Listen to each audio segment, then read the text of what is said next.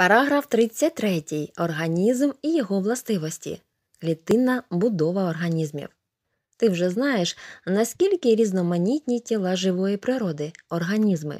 Вони мають різні розміри, будову, забарвлення, спосіб живлення, середовище життя.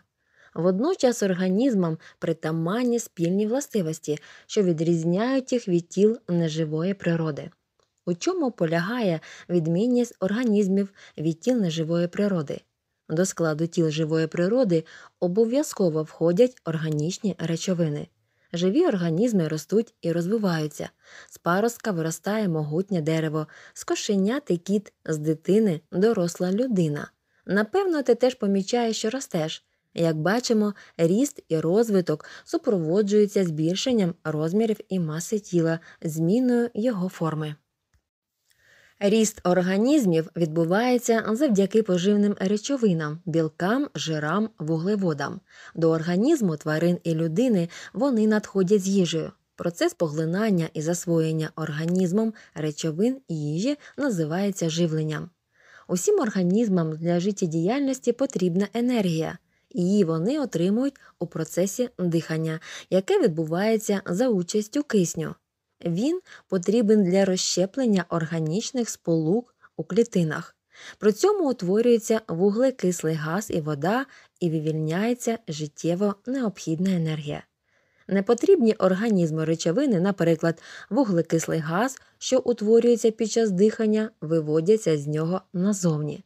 Ще однією властивістю організмів є подразливість це здатність живих істот реагувати на впливи зовнішнього середовища. Наприклад, маки, кульбаба та багато інших квітів розкриваються вдень, коли температура повітря підвищується, і закриваються під вечір, коли стає прохолодніше. Нескладно з'ясувати, як акваріумні рибки реагують на різні впливи навколишнього середовища. Якщо легенько постукати олівцем по стінці акваріума, рибки тікають у різні боки. На появу корму рибки реагують інакше, швидко підпливають до нього. Хоч скільки б існував організм, і з часом він гине, утім, завдяки розмноженню з'являються нові організми.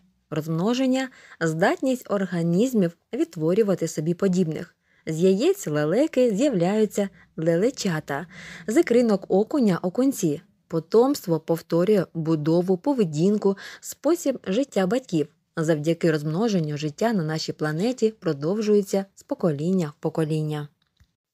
Клітинна будова організмів. З вивченого про будову речовин ти знаєш, що їхнім своєрідним будівельним матеріалом є атоми, найменшими частинками, з яких побудовані організми є клітини. Тож кажуть, що всі організми мають клітинну будову. За цією ознакою організми відрізняються від тіл неживої природи. З клітин побудовані тіла і великих за розмірами організмів, наприклад, слон, дуб і маленьких, як от бджола і рязка.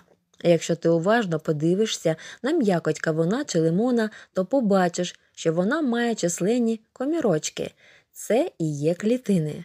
Та зазвичай клітини мають маленькі розміри, тож роздивитися їх можна лише за допомогою збільшувального приладу мікроскопа.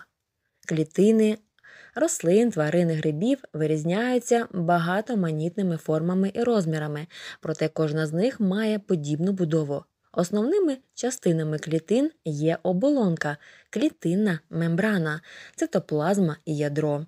Докладніше про будову клітин ти дізнаєшся на уроках біології. Скільки клітин у складі організму? Існують організми, які складаються лише з однієї клітини. Наприклад, мешканці прісних водойм, хламідомонада і амеба. Їх так і називають одноклітині. Незважаючи на крихітні розміри, єдина клітина тіла цих представників живої природи виявляє всі властивості організмів і здатна до самостійного існування. Тіло більшості живих організмів нашої планети складається з величезної кількості клітин. Це багатоклітинні організми.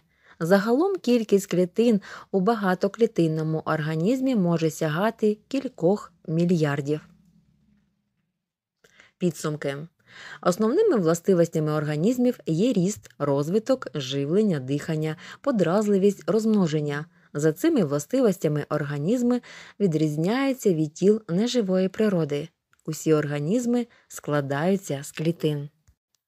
Сторінка ерудита. Серед сучасних тварин найбільшою є синій кит, довжина тіла якого близько 33 метрів, а маса понад 150 тонн. Новонароджена маля кита має довжину понад 8 метрів і важить 2-3 тонни. Найменший птах на землі це колібрі, що живе в Південній Америці. Ця пташка важить близько 2 грам.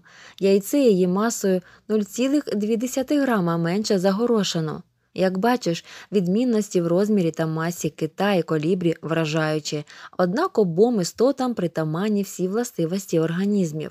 У природі є організми, які не мають клітинної будови. Це віруси. Вони можуть існувати тільки всередині клітин інших організмів, а за їхніми межами гинуть. Тому вчені виділяють віруси в окрему групу тіл природи.